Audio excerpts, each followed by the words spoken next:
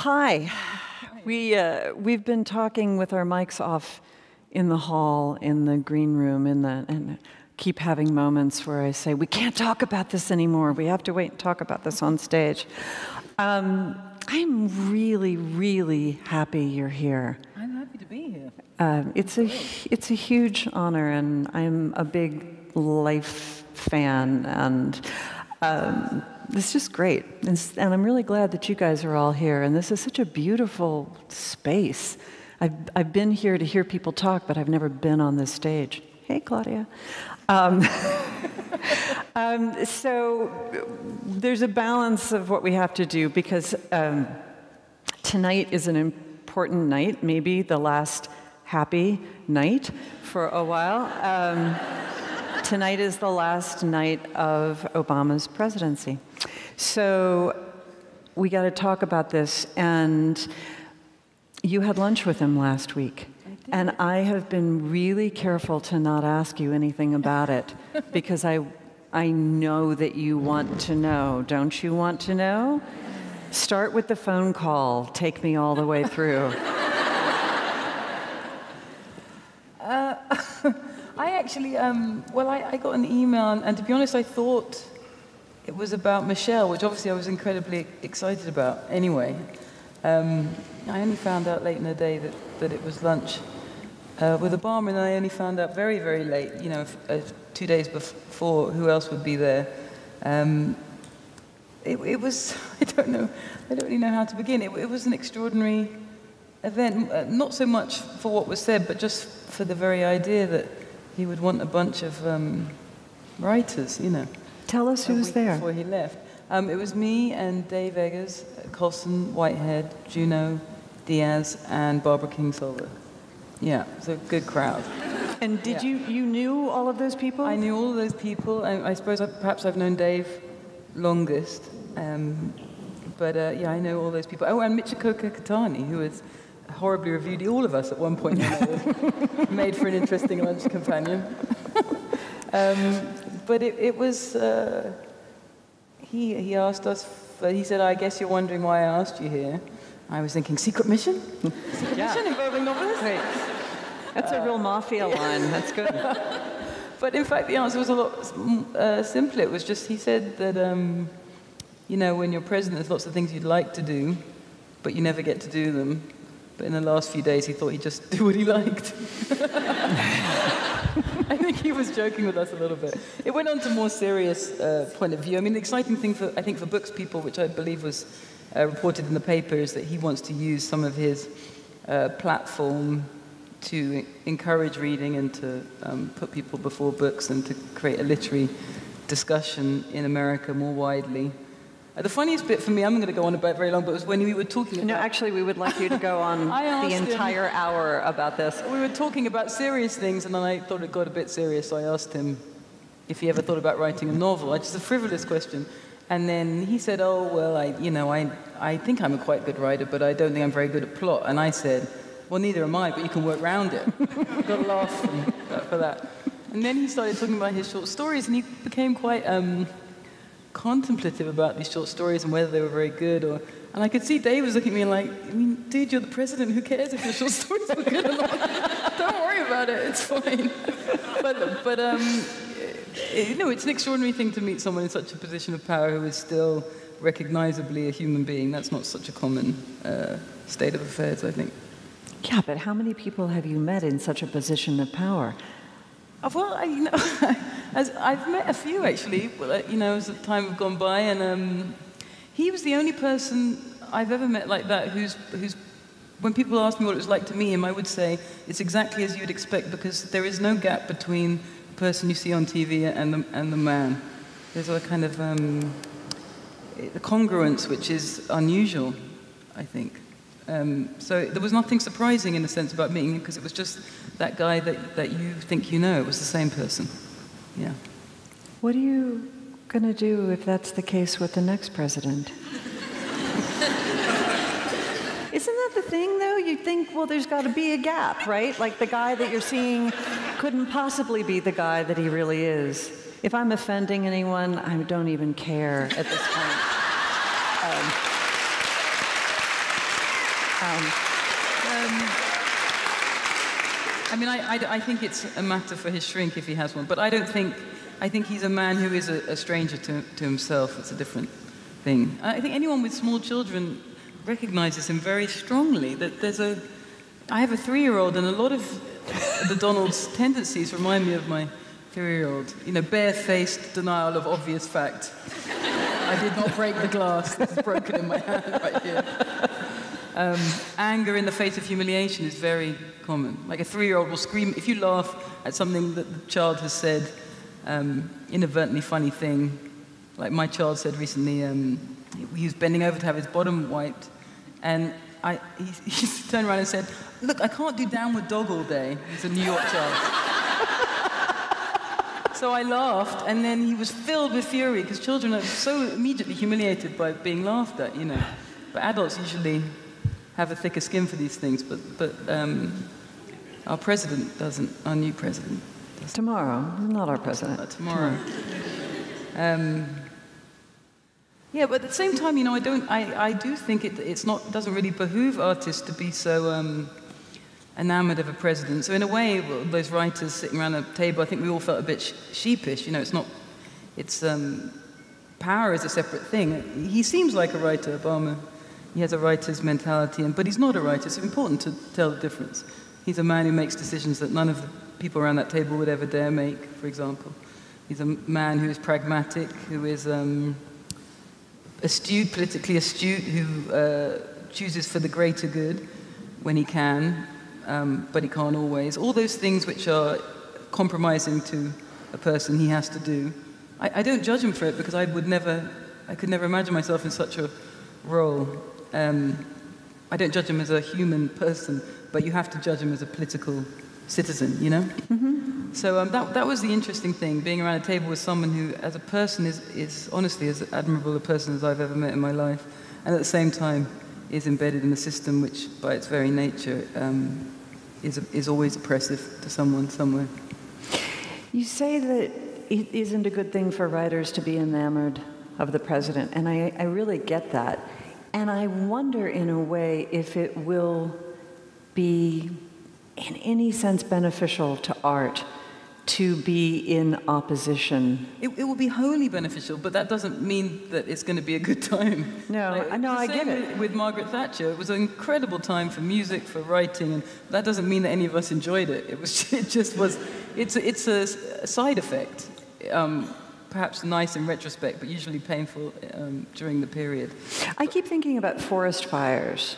You know, and I used to live out in Montana, and you know, 100,000 acres would burn, and you would just think this is such an incredible loss. And then somebody would come and say, but the underbrush has to be cleared out, and the seeds can only germinate at this incredible heat.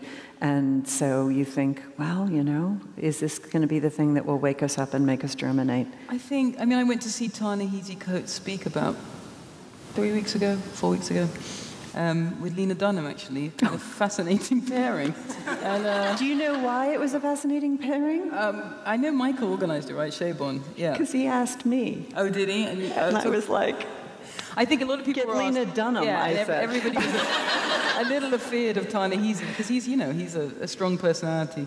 But he was on stage and he said, um, you know, he had a smile on his face. He said, I can't wait for this. I'm excited.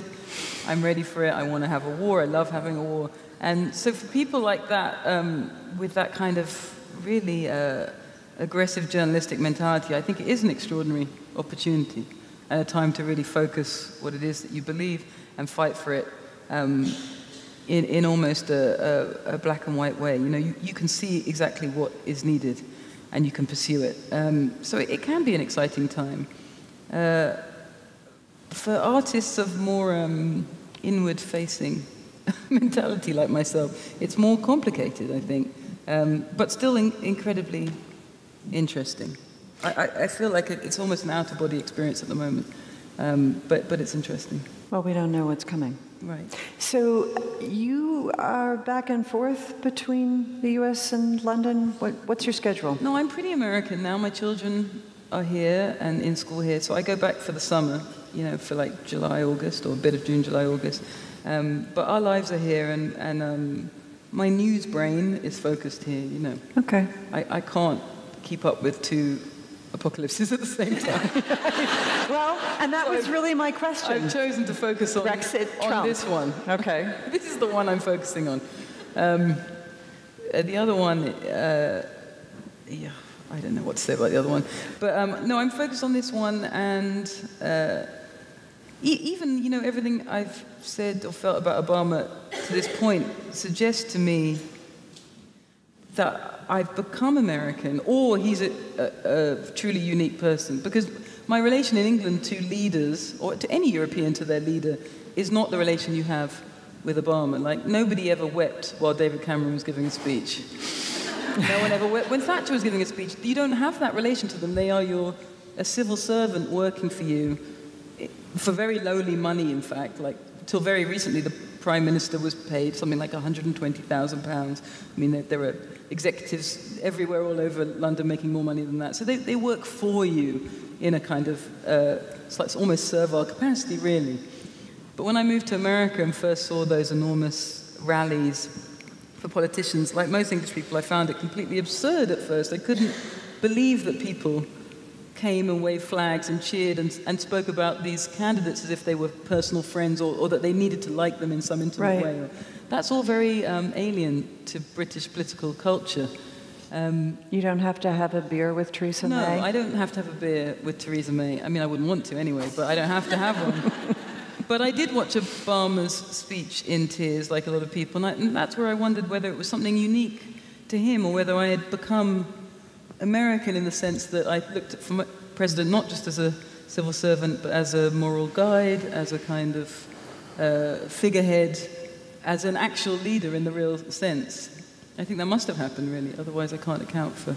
Would you have watched that speech in tears? And I, I, I mean, I sobbed through the whole thing. Um, if if Clinton had won, because I didn't know how much of it was I was moved by what he was saying, or I was thinking, uh, this is what we're losing.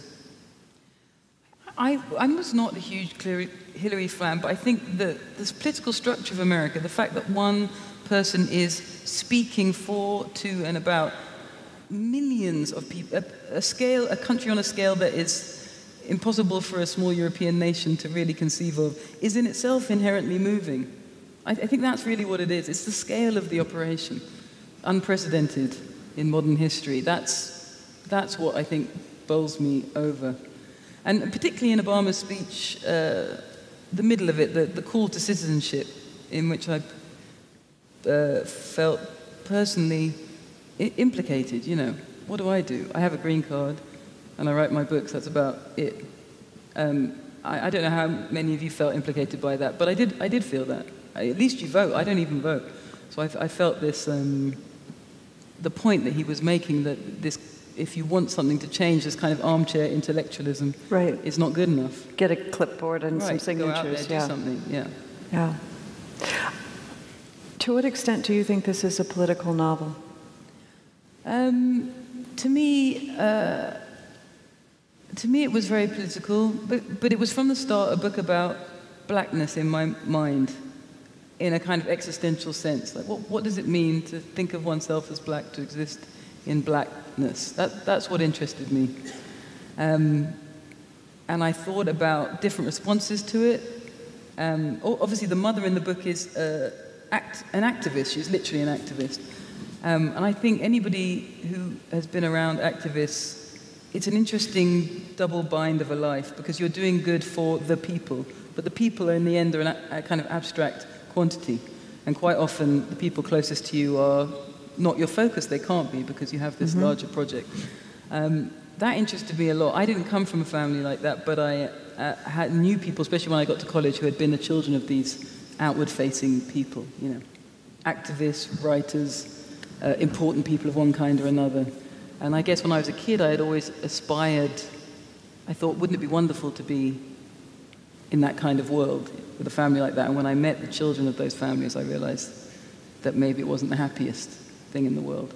So it's partly that knowledge, um, and then just thinking in a more intimate way of my own mother and the way that uh, the blackness as she felt it and defined it in England was a kind of survivalist program, right? She was trying to protect me and my brothers from something all the time.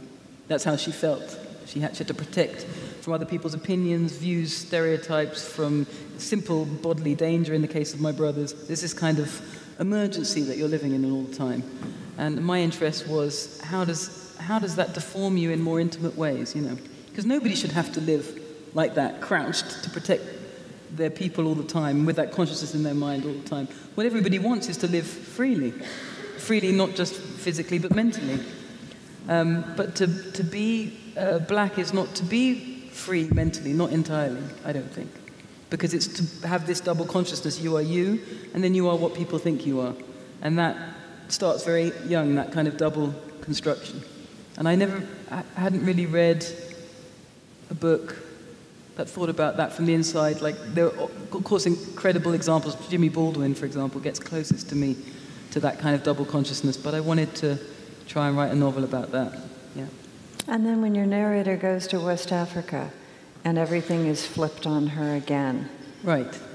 Have um, you spent a lot of time there? That those those Africa scenes were amazing. I, I did. It's been a, it's kind of been a long process over the past ten years. I uh, my first visits I think were to Liberia for work, journalism basically, and then my mother fell in love with a very young Ghanaian man and married him for a while. My mother quite frequently meets people and falls in love with them and then forms new lives. So for a while we had a, a Ghanaian life. Um, so that was my first experience. Because Liberia was obviously a kind of extremity. I was going in a, in a, with a charity for journalism, so I saw one version um, of a certain kind of West African life. Ghana was city life, you know, it was a completely different uh, existence. And then I started going to the Gambia out of kind of curiosity. Um, so uh, it's all those experiences, I guess, that have fed into it. Yeah. Why write something that people are going to pick apart as autobiographical? And and I and I'm asking yeah, you that. It's a good you question. know, and um, Zadie and I are both on the short list for the uh, National Book Critics Circle mm-hmm. Award. Go us! Um, um, but it's really interesting. I was thinking about those books. Michael's, Michael's book, is the same, yeah. Uh, Moonglow, very much the same. Adam yeah. Haslett's book, Imagine Me Gone, very much the same. Louise's book, Louise Erdrich's book, La Rose, not so much. Right although the autobiographical stuff, you know, is sort of culturally autobiographical for her. But in those, your book, my book, Michael's book, Adam's book, it's a very similar set of problems where people are going to be saying, "Is that your mother? Right. Is that uh, the young the young African lover? Was that your mother's younger lover? Right. Was it?" Why? Well, that for me was the risk. I, I think the reason it's happening at this moment um, is to do uh, with a certain kind of reality effect. There's been a lot of arguments, literary arguments over the past decade about the death of fiction or what was happening with fiction. And, and two writers, I mean, I'm sure a lot of people in this audience already know them, but the Norwegian Knausgaard and Ferrante did this uh, thing which looked like uh, confession, but is actually the use, the, rem- the remembered use of a really ancient literary effect, which is first person confession. Everything in those books is phony, but it has this uh, feeling of truth. And there was, a, I think, a sense amongst readers that they, they hungered for reality for whatever reason, because the, the reality they see on the TV seems to them false, because their own lives sometimes seem to them artificial, because their whole lives are going through these um, uh, phones. So that there's a kind of medium between you and the world. There's this great hunger for reality. And I think literature has responded with this uh, thing that looks like reality, but is a reality effect. It's incredibly strong. And I'd never used it before. I always wrote in the third person. I was always concerned with, you know, the largest possible cast of characters. It never, it really never occurred to me to write in the first person. I just, I hated exactly that, that kind of autobiographical error that people make or mistake, or made me feel sick, even the thought of it. Um, and writers I grew up with, I'm sure you grew up with people like Roth, um, Updike, writers I admire, but I found that kind of autobiographical fiction just way too, I just, I don't know, too much for me. But once I started writing in the first person, it was just really thrilling. Part of it was the risk, exactly, of knowing that how boring and annoyed I would be by the questions that would come. Yeah, right. It's like you're risking something but it's also like a, a, a performance. It, it is completely personal, but it's more like saying, uh, what if I was me, but almost everything was different and nothing had happened in the same way? That's the question. So it's more like being an actor saying, what if I put on a different life? And in that way, it's very voyeuristic. Like, I get to do things in this book that I never did, that never happened. I get to have, you know, a completely different family, no siblings. Um, I get to be my mother and me. I get to be an international pop star, also her assistant. I get to be Right. all these people. I get to never have been taken from my people in West Africa. I get to be in West Africa as if I was never removed from there, as if the whole of slavery hadn't happened and I lived there the whole time. So it, it's a series of. It, I it's a lie to say it's not autobiographical, but I guess just not in the way that people think. It's a different process. You said something on Fresh Air that was so interesting about this, about how Terry Gross said, Is the mother your mother? And you were like, No, the mother's kind of me, or the me I'm afraid of being Right. with my children. And I do think that in fiction, it's incredibly autobiographical, but it is the lives that we didn't choose, the things that we didn't do. I think, I think that's what the reader doesn't get. Obviously, he doesn't get it because you don't, you, you're trying to disguise it and make it seem as real as possible. But it, it's that, and there are different versions of it. I think my particular pathology is like casting into the future. So if I, like with On Beauty, I'd just been married, but I thought, well, how about if I was married 30 years? What would that look like? Right. And I wrote a novel imagining what it would have been like to be married for 30 years and to be American and to be in a different. You know, it's a series of what ifs that kind of I find curious. And then sometimes there are other projects which are, like we were just talking in the hall, I've got a historical novel in mind. And that's a completely different exercise. That's like when your brain is hungry to rearrange uh, elements. You know, you're given a load of elements, facts, settings, people, and you just want to like create a puzzle out of it. It's a different kind of organizing principle, I think, than than this acting thing where you think, what if what if I was her? I do think it's strange that we all came to it at the same time. I mean, it does make me wonder culturally what's going on. I think it's culture. I think it's midlife as well. It's midlife. broadly expressed, right? That you midlife is the point in which you think I've passed midlife, actually. What if- Unless I'm going to be really, really old when I die. this is not the middle anymore. What, what about the other road, right? I saw that in Michael's book very clearly. It's a kind of, he's thinking about how he got to where he is. He's, he's thinking about all the roads that led there and the absolute contingency of it, right? Like, the thing about Michael's book is that everything that happened in it, he, he is fictionalized to the nth degree and it's all uh, like almost bellowized, right? It's all so bright and colorful and over the top.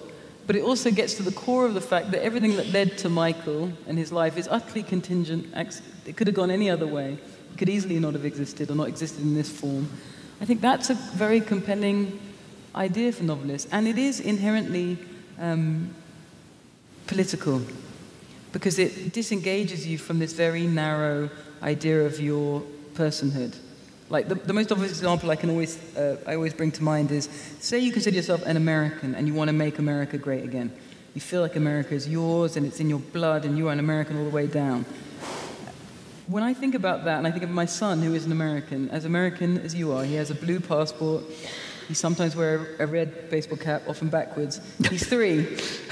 And he will grow up, and I imagine, because he'll go to American schools, he will learn about the American Civil War, and he'll learn about Lincoln, and he will consider this his history, right, in a fundamental way. If you ask him, a Frenchman says to Harvey, What are you? I'm an American. I'm proud to be an American. Now, I know he's an American because I couldn't be bothered at that moment. I was seven and a half months pregnant to go back to London, so I just stayed. Could easily have gone back. He could have been born in London. I was in the middle of, he could have been born in France. It's a completely accidental contingent thing. I am British, his father's Irish.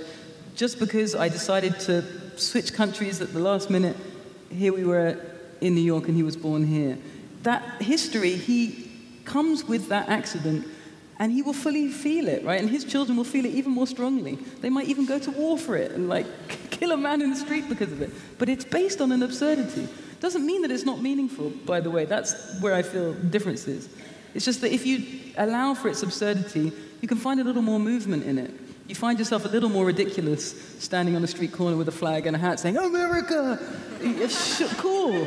But everyone is born somewhere. It's, it's just a thing that happens.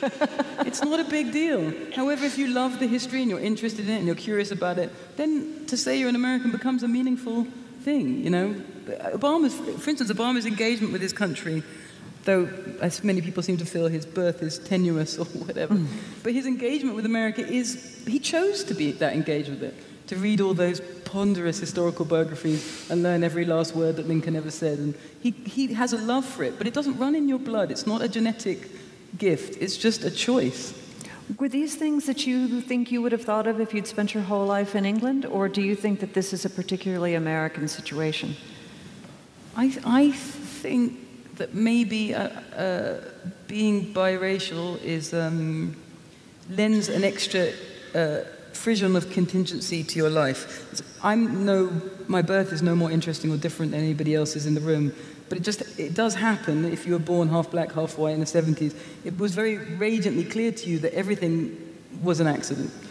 Like my mother coming from some tiny little village in Jamaica, and my father, 30 years older from a completely different part of England, accidentally meeting one night. I mean, it's so, to me, my whole existence seemed to be uh, highly unlikely.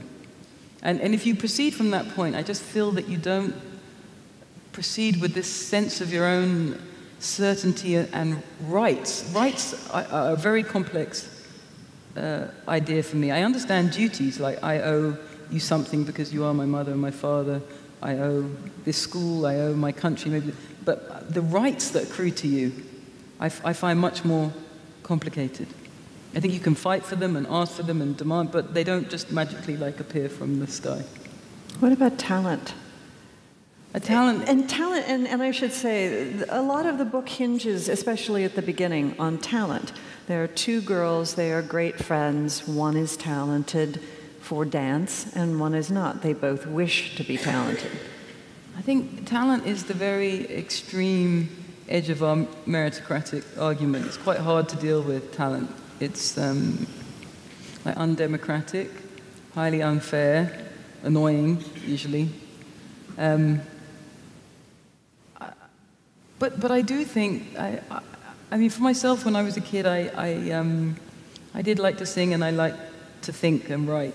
And uh, the thing I always disliked about singing um, was the fact that you just opened your mouth and a nice sound came out, and it didn't seem to me that that was very that that meant anything. That that's kind of talent to me in the most um, accidental form, and I think that a, a singer is somebody who uh, is more than someone with a pretty voice, right? We know that from watching those TV shows where people sing nicely, but that doesn't make them artists of any kind or, or real singers. A singer is Leonard Cohen a singer, is Joni Mitchell a singer, is Stevie Wonder. These are singers. The fact that you can sing, uh, you know, a nice Mariah Carey song and to put all the trills in is a different matter. So for me, it, talent is fine, but what makes artistry is, is much more to do with work and commitment. Um, and when it came to writing, it seemed to me clear that talent is uh, fine, talent's okay when it comes to writing, but it's, it's about so many other things self control, certain kind of will, patience, and a lot of work. The, the talent part, some, the weird thing is, some of the most talented writers are, are the worst writers. Talent can be a kind of a liability sometimes. Every sentence is perfect, it all rolls off, everything's wonderful. Um, that, that to me is not what makes a good writer. So I guess in writing I see a place where talent is more, it doesn't just rule the roost. There's a possibility of improving, which I find really great about writing. You can get better by working and concentrating on it. Um, with singing, it was very obvious to me that there was Aretha Franklin and there was me, and the gap was never going to be breached. Um, so, writing has the possibility of movement in some way, of discovering some new way to do it that works. So, you teach? Yeah. So, what happens when you have a student who isn't talented or a student who's very talented? I would more narrowly define it. Like, I think, like all of you, when you're sending emails, you must have those people who send you an email and you just don't read it because it's just, it's just even, it's long, it doesn't, it's, it's not compelling in some fundamental way. It's just words. And then there are other people who, no matter what they're emailing about, they're always interesting. Like it could be anything, some boring administrative thing, but they have the the talent of being interesting. I heard it described once by James Wood, and that is a rare thing. Um, and I, I see that a lot of the time, but it doesn't always lead to something, you know? Um, the secondary thing, that kind of control and willingness to be alone, that's, that's the main thing I'm always trying to yes. press on my students that one of the things writers are people with a huge capacity for loneliness. Like they really dig it. And the longer they're alone, the happier they are. Like, if you're ever late for lunch with a writer, don't think that they're sad. they're never sad. It's like, oh, another 15 minutes to read my book. They love it. The later you are, the happier they are. There's one exception, Geoff Dyer, who gets incredibly angry about these things. But everybody else, uh, lateness is good. They want to be by themselves.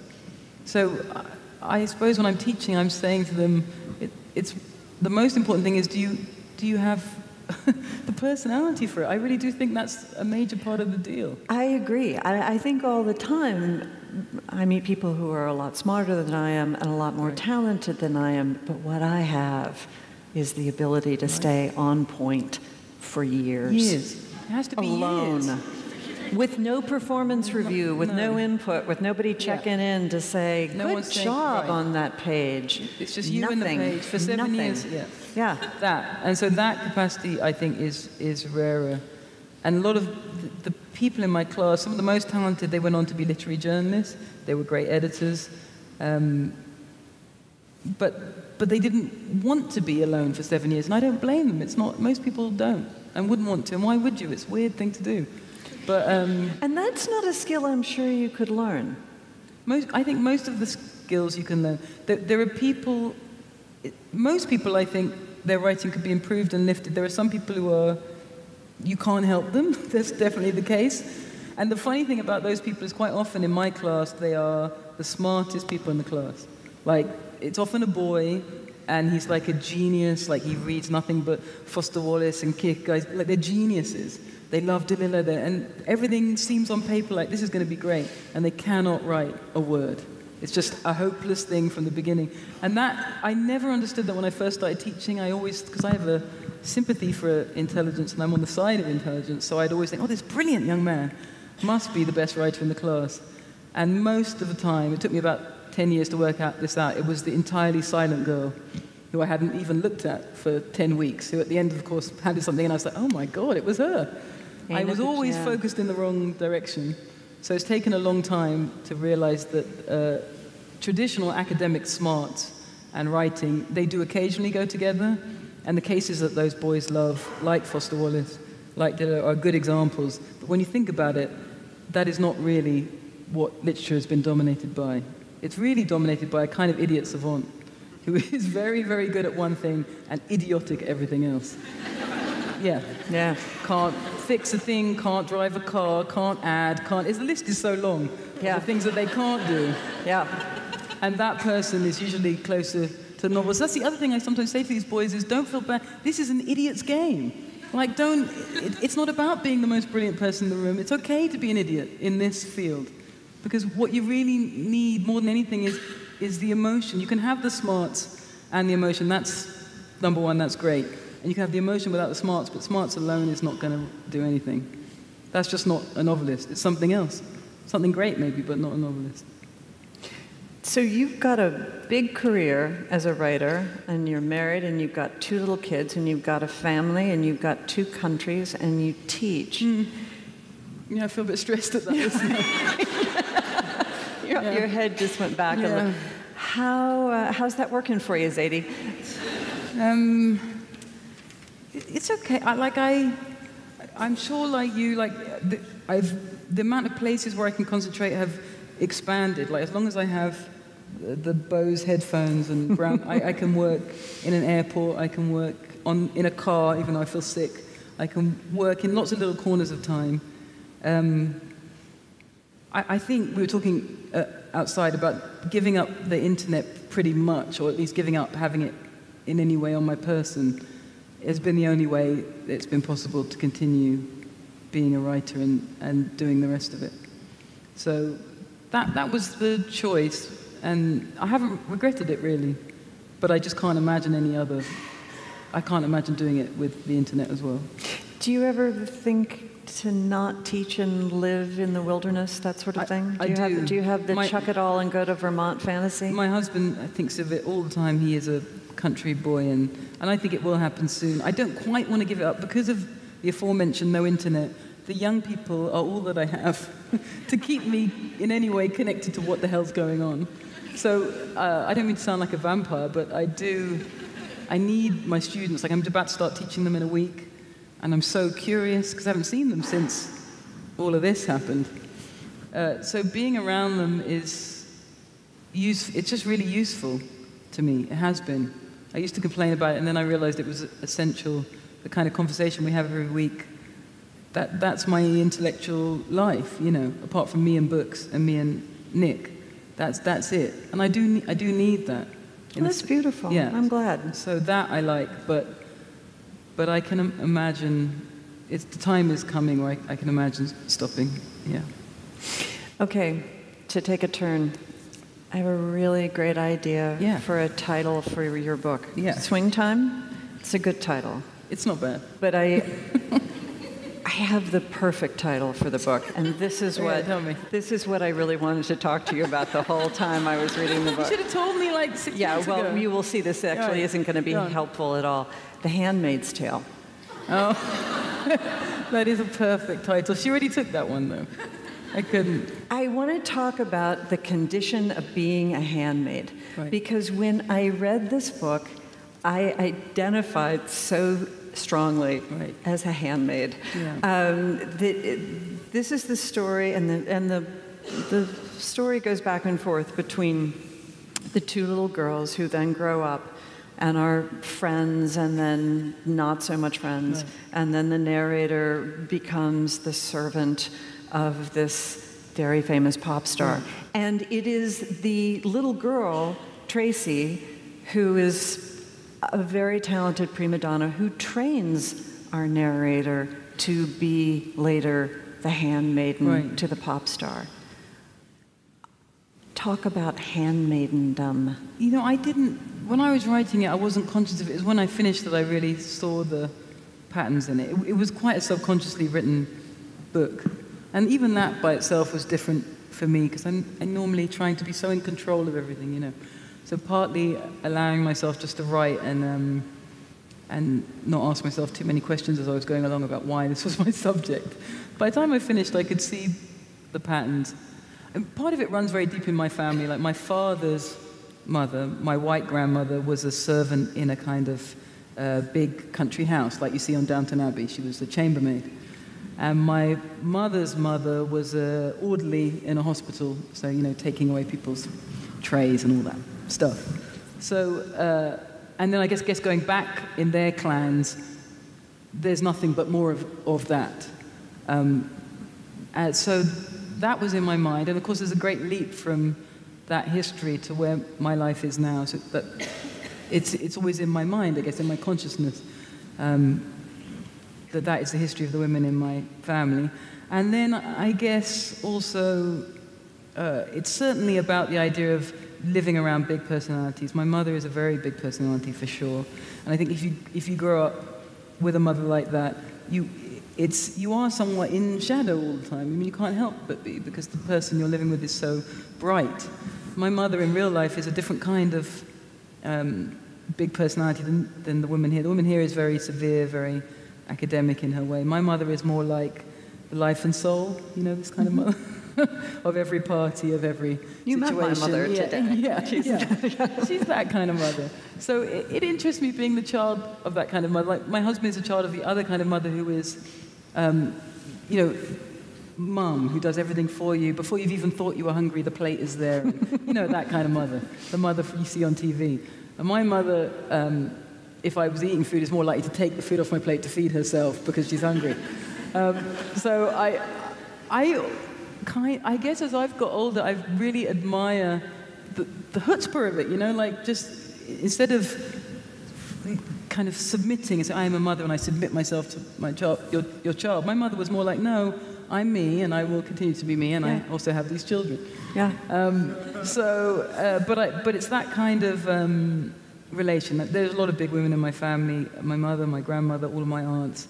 Um, so I, I was aware of being a quieter child, or at least more inward and, and just less social, certainly, than they were. They're very, very social. Talking to everyone, everywhere we went, every time you left the house, everybody on the bus, every... And I always found that pretty excruciating as a child, I guess. I just wanted to be left alone, and they were always giving it that. Um, so that was partly it. Um, also, I think when you write, don't you feel a bit like a handmaiden? Not when you're doing this, like, oh, now you're on stage and it's all fancy and like you're the Isn't this fancy? yeah, it's very fancy. you're, the, you're the focus. But when you're writing, I, I have felt more and more that, and meeting other writers, that you're under a weird kind of yoke. Like, so there are writers who finish writing and the next day they start writing again. Trollope?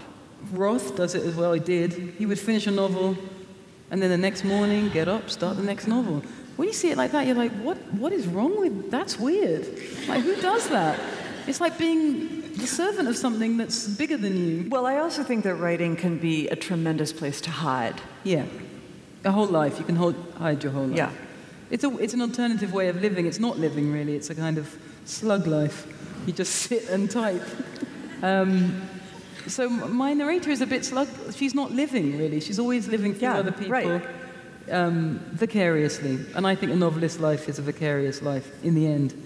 Um, but I, I was also just curious. It's living in New York a little bit. How many of my students and young people I knew in, in a much bigger, less intimate, uh, kind of political, well, socio-historical way, were submitting to an economy where they work for free for all these different people, or they are somebody's assistant, or so, and and they were feeling some kind of fake frisson from the glamour of being the assistant of what X, Y, Z, and what they're actually being was like totally exploited in this extraordinary way. And I kind of wanted to write about that too. And then the more I thought about it, I thought about an economy that is always basically exploiting somebody else. And someone is always living in the shadow of someone else. And then it, it expands in your mind to country size, right? Where whole countries are being used as kind of client states, servant states, making our clothes, sending our food, and suffering themselves. So it just keeps on expanding in my mind. I know it's a slightly jaundiced vision, but sometimes you wake up, you look at the world, it looks like that. A series of completely exploitative relationships between the powerful and the weak. But it's a wonderful structure for the novel. And, and it Right. really talks about things that I think That's the are important thing, so- that the corrupt world is a very useful That's structure right, exactly. You've made it work. That's, what, that's the important takeaway. Um, I want to talk about two more things, and then I want to let people ask some questions. I want to talk about movie musicals. Yeah. And I want to ask you about La La Land. It's, it's. First of all, I love redheads so much. In all my novels, there's always a redhead, and they're always the hero, one way or another, heroic redhead. Second of all, I love musicals. I cannot really account for why I dislike La La Land so much. I look forward to it for months, and I mean, from a practical point of view, they're, lo- they're lovely actors. And in a musical, you always have a choice between acting, singing, and dancing, right? And uh, historically, the movie musical makes a compromise. Says, well, Bing Crosby can't really act, can't really dance, but whoa, he can sing. Or Gene Kelly, not a great actor, but can sing and dance. Or Fred Astaire, not bad actor, amazing dancer, fair singer. I feel like a movie musical which chooses two extraordinary actors who can neither sing nor dance. That's too much for me. Yeah. That's not a musical anymore. So I was a bit lost. And also a bit, a bit annoyed that doing this is meant to convince me that you're tap dancing. That's not tap dancing. So I was very let down. I don't know, I went to see it, and then in the last two minutes, everybody's phones lighted up. It's because Debbie Reynolds had just died. And, and the contrast to me was too strong. I went to see Singing in the Rain in Your Honor on the big screen this past Sunday, the 65th Well, anniversary. there, I mean, there you go. Yeah. And it turns out, I found out in all the stuff about Debbie after she died, that she could not dance six months before that movie started shooting. She went into intensive training, and, well, there's the result. And the, the, to be fair to Emma Stone, who is totally delightful, uh, I bet she had two months, and I bet she had 300 other things to do. And the studio system doesn't exist anymore. It used to have these actors as prisoners. You had to do what they said, That's- and the movies were amazing. Got to bring that back. Yeah. and now they're all liberated, and look what you get. Nothing. Um, tell me about what you're reading, because that's what we were talking about in the hall, and you should all hear Um, this. Well, I, I read this extraordinary. Yeah, let's book. skip over no, that. No, but it is extraordinary. But No. I'm sure you've all already read it. That was my first autumn book. Uh, I read Colson. I read Dave Eggers. I read an amazing book that you all haven't got yet, but booksellers are reading, and called Exit West by Mohsin Hamid, who's a Pakistani British, perhaps a little American too, writer. He lived here for many years. That to me is an extraordinary book. Um, I've just been reading so much fiction. I read uh, Yaa Gyasi, Homegoing, which I thought was one of the greatest books perhaps ever written by a person of that age, 22 when she started. Um, It's extraordinary. so, to me, like I, I wasn't reading when I was writing Swing Time that last year. So I woke up from the dream of a novel into this really pretty competitive fictional sphere. I was like, whoa, everybody's game is like lifted considerably. It, it's been it's really amazing. intense. You know, there really are years, and I know this a lot more now that I co-own a bookstore. There really are kind of dud years. right. Um, and This this, was not a dud year, year. this year was unbelievable. It was really something. And uh, like we're talking about young women writers like Alexandra Kleeman or Tessa Moshfegh, like there was a lot this year of people either brand new out the gate or like Colson writing their best book. It, it's it's been exciting. So, and some of it, like I talked to a lot of friends who'd read Exit West, other writers. That book feels like a prophetic book about what's happening right now. So something mu- it must be to do with the times as well. That writers find themselves plugged into a historical moment and they really uh, hit it out the park. and that's So- coming out in March. I'm looking at I think it's and Kat. March. March. Coming soon, I hope. Yeah. It's tiny. I mean, you'll read it in a day and it will blow your mind. It's so great. Um, There's a little book in May called Chemistry, a first novel. I just was hearing about that. Yeah, which I loved. By someone who was a chemist, right? yeah. Originally. Yeah. No, it, it's a it's a good time, and for me personally, like uh, the past five years, say this kind of African diasporic novel that's been everywhere. People like Teju and Chimamanda, and like that was a kind of fulfillment of something I had hoped to see when I was a kid, you know. So that that was really that's been really something for me. Um, yeah, it's a good time for books. Is there ever a kind of novel that you think, I really wanted to write that kind of novel? Look, they did it. Okay. No, but I have that feeling every single time I read a good book. I, I am going to speak about your book for a minute, and I, you can't stop me. The thing which I thought which so, which made me want to write like that, is what I said to my husband, is that for so long through that book, I didn't know what it was about. Do you know what I mean by that? In a strict sense of being thematically whacked over the head a hundred times, which is what a lot of novels do, and certainly uh, when I was younger, I used to do it a lot too, or I thought that's how novels were made. The magic of that novel is it's like life. Like you have to, it's like a going through. You have to process the whole thing. I think I know what it's about now. I don't, I don't know if you would agree, but I think I know. But it was that uh, gentleness. Like you need so much confidence as a writer, not to say every page. Oh, by the way, this novel is about X.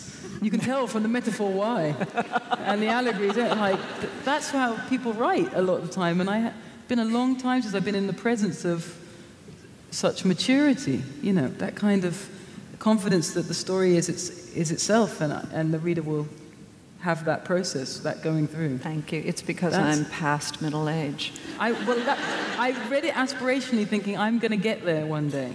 I'm not going to write these essayistic when novels. you're my age. That's where I want to be. I thought it was so beautiful. Thank you. Um, what, a, what a wonderful note on which to open this up and get a few questions in. So be a pal, ask a question.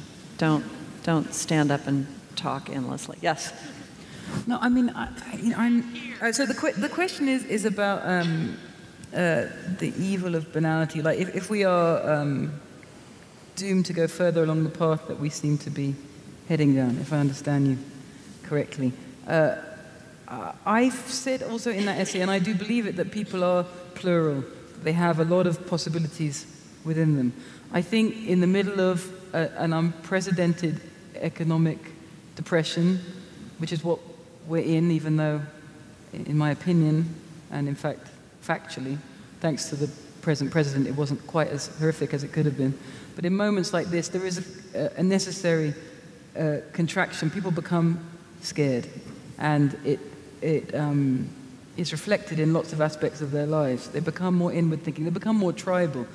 And I, I don't, uh, I, of course, I condemn it, but I don't really see the point of sitting around on armchairs condemning it. I think uh, comprehending it is more important and trying to speak to people in their plurality, trying to find that part of them that can hear you. I really, when I went to have that lunch with Obama, I wasn't feeling particularly chipper about the situation, nor were any of the other writers. We were awed by his continued optimism, awed by it, you know, by his ability to continue feeling it. Um, I, I, know some people think it naivety his, on his part, but I, I think in his case it is hard earned. And he had that experience very early on uh, when he was uh, stumping, walking around the country, talking to people, of you know walking into small white, small small holdings in Ohio farms, meeting a family who didn't want anything to do with him, and talking them around. He, he knows that that's possible. Part of it is rhetoric. Part of it is finding some connection with people where they can understand you, can understand them. But I think that is possible. I continue to hope for it. And I think that it becomes easier, as I tried to say in that piece, like my father was a, a, an old white guy, like, like the kind of person who's being vilified at the moment. But he was an old white guy in a moment of uh, economic buoyancy in England, of state protection, of universal health care, of free education. These things help a lot with your grumpy old white man attitude in the morning. They help.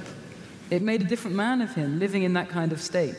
He could have been a very different person, I think, in a different kind of state that didn't protect him and didn't protect his family and show him possibilities, ways to thrive, you know? So it doesn't entirely surprise me that people find themselves in extreme economic situations with no way to thrive and fall back on some very ancient atavistic feelings. Um, but I, I, don't think they are solely to blame in those feelings. Um, I, was, this is a question about a film that I was writing with my husband for um, this French auteur director called Claire Denis. Um, uh, I got chucked off that project. uh, my husband stayed on and he wrote the movie, and it, it, they're making it, I think. Um, the problem between me and Claire, she is an extraordinary director, but uh, she is French and I am English, and there is a, a fundamental aesthetic difference between the French and the English, um, which we couldn't overcome, you know. She thinks in images um, exclusively, I think in words. I, I am concerned with plot, she is not. Um, I admire her entirely, but we couldn't find a way uh, to work together because uh, anything I brought forward to her was banal. You know, she doesn't, she's not interested in people in the same way. So she's made really great movies, though, despite having zero interest in, in people. so uh, I have faith in it. I think, I think it will be good, but I, I was not the right person. Like, the, the things I can do, she doesn't need. You know, even dialogue, she doesn't need, really she's a visual person and her films are made of, of image. Uh, yeah. You? Um, you kind of touched on this earlier, uh, talking about writing a book that be taken apart as autobiographical. So when you're writing, how do you notice maybe that you're writing too much of yourself on, your, on the page, or like how do you take yourself out of the story and make sure that you're writing from the perspective of your character or in the line of your story as opposed to yourself? Uh, I, I think I have the opposite problem. I think a lot of novelists do. I, I noticed reading uh, this crop of autumn novels a line that I kept on underlining. I don't think I found it in Commonwealth, but I found it in Safran Foer's book, I found it in Chabon's, I think I found it in Eggers. I am no one, or some variation of that. I, I think that is a, the true state of novelists. I think their, their own sense of identity is very uh, shaky, honestly. I think actors are a bit like that too. I think actors are a more extreme pathological case, in my opinion. Writers are on slightly firmer ground. But, but so I don't.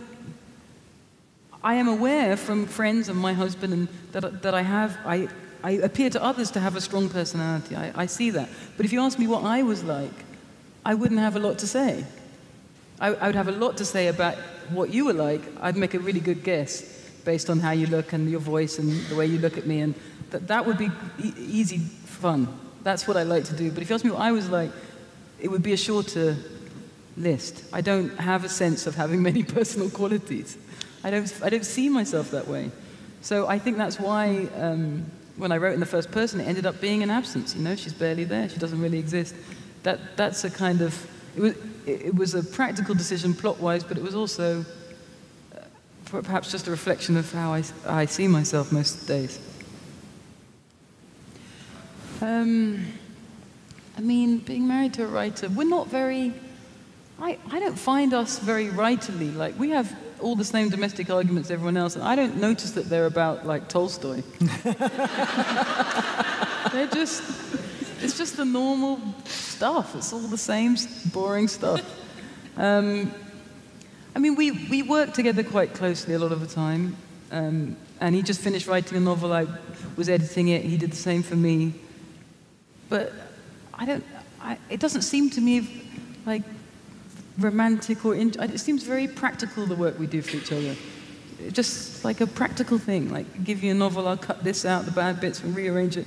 It, it, it never feels, uh, in the way when people talk about creativity or art, I never feel that that's, that seems like it should be more romantic or lofty day-to-day experience of it. To me, it seems more, I don't know, just work. We work for each other in various ways when we're writing. Um, but most couples just don't work together. And maybe that, that I think is the, the difference. I realize sometimes when I talk to other couples, like it amazes me how little couples actually see each other if they have real jobs, right?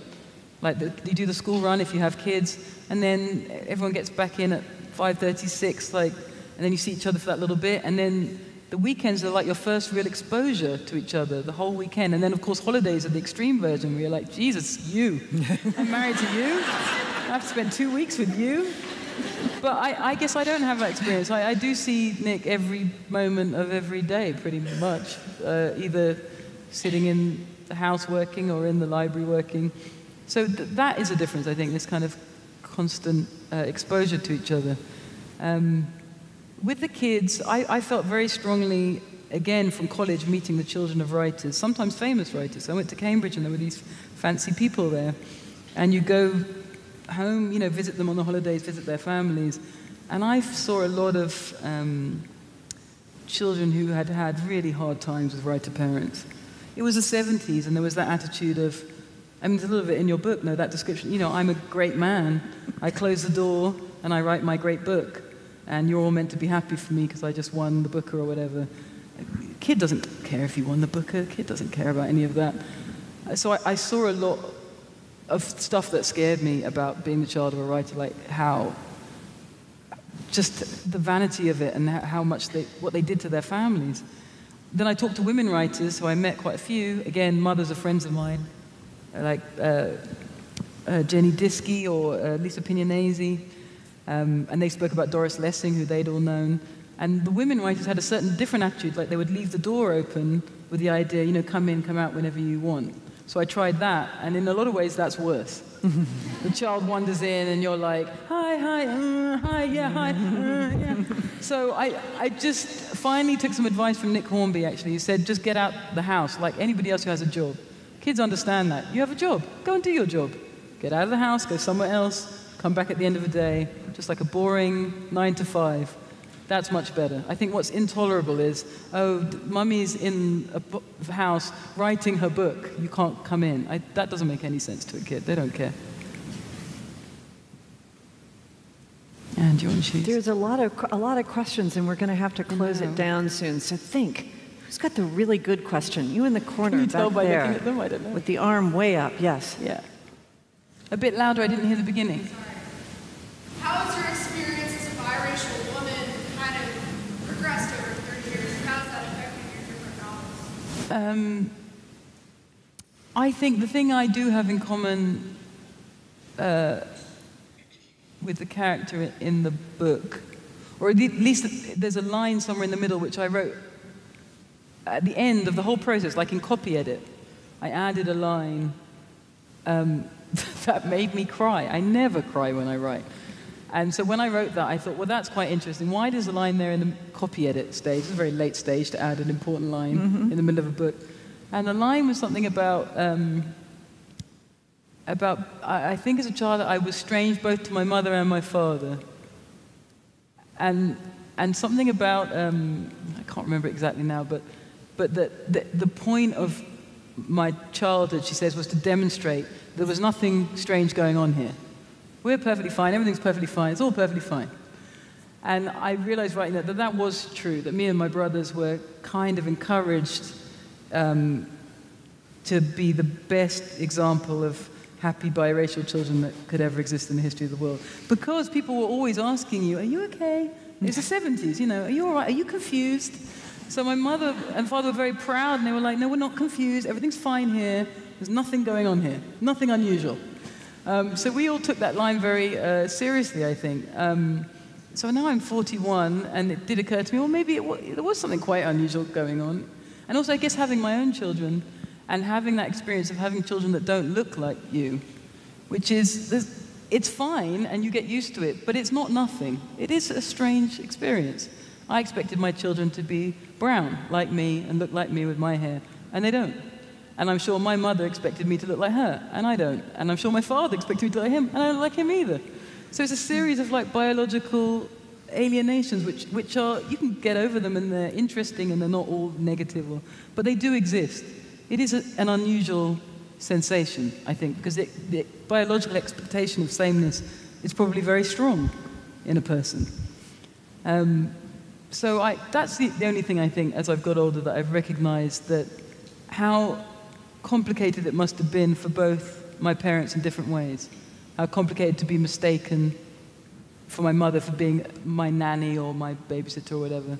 How complicated for my father to be thought of as my elderly boyfriend or whatever people thought he was. Like, that must have been odd for, for both of them. Um, so that, that's it, a kind of retrospective recognition of the complexity of it. Um, it's just it's questions about the difference between writing essays and fiction. It's just much less agonizing. It's not. Mm-hmm. It's just an essay. Yeah, I always say it's like doing your grocery list. Yeah, it's like a nice piece of homework, and you do yeah. it, and you did the homework well, and someone says nice essay, and then that's nice. It's it's it's work, and but it can be done cleanly and in a, yeah. and it can be done well. That's the other thing. It can be done in a kind of formal way where everyone can agree, well, that was good, well done. A novel isn't like that. A novel is an embarrassment, always. It's always excruciating, both to write and to have read. It's always a mess. There's always something wrong with it. Somebody said that, right? And the definition of a novel is a long piece of writing with something wrong in it. and that's what it is. And, and for people who are perfectionists, aesthetes, formalists, the novel will always be a horrible shame and a disappointment, and it should just get rid of, and it's just a terrible thing. But for those of us who like that about it, its messiness, its humanness, the fact that you can wade through 30 pages and then suddenly find something which is unbelievable, like a gem in your life. To me, that is the purpose of fiction. I, I love essays, I like writing them. It's nice to be smart or to be thought of as smart or impress somebody with your smartness, but that's not the same thing as novel writing. Novel writing is a huge risk. You look like a fool, and even if you do it well, at least 30% will, people will hate it and think you're still a fool. Um, it's a completely different exercise. But I think the benefits of it are, are so much larger emotionally for everyone involved. And also, writing an essay is sending up a little flare, saying, "I am still alive. Right. I've been writing this novel oh, for yeah, years yeah. and I, years. I'm here. But I'm here. It's oh, look, there's on. Zadie. She yeah, does, that's nice. Yeah, and it's always it's always a little vain. There's something. It's, yeah. always, it's connected to vanity, or it, it's an impure exercise. Even though people who like essays think of them as such, as such pure gems, there's something not. It's different. It's like a, it's saying it's a statement of some kind. A novel is a, is you're not in control of all the elements, and that's kind of the thrilling part of it. That someone will read it and, and see something about you, some things which are deeply unpleasant a lot of the time. It, it's when I'm reading novels, I feel like I, I'm getting really close to a human. When I'm reading an essay, I think something's being presented to me very nicely and well done, and aren't you clever? But that's a different exercise. I think that's a good place to stop. Thank you. Thank Um, you. Uh, Let me just say um, the books are going to be for sale, Parnassus Books. You remember us. um, out in the front, and Zadie will sign. Please be kind. You know what I'm talking about. When you come up in the line, be nice to her. also, I'm having dinner with Ann later, so um, yeah, let's do this. Yeah, don't tell her. Don't tell her every single thing about your life. Thank you. Um, You can thank tell me you something. so much. Thank you.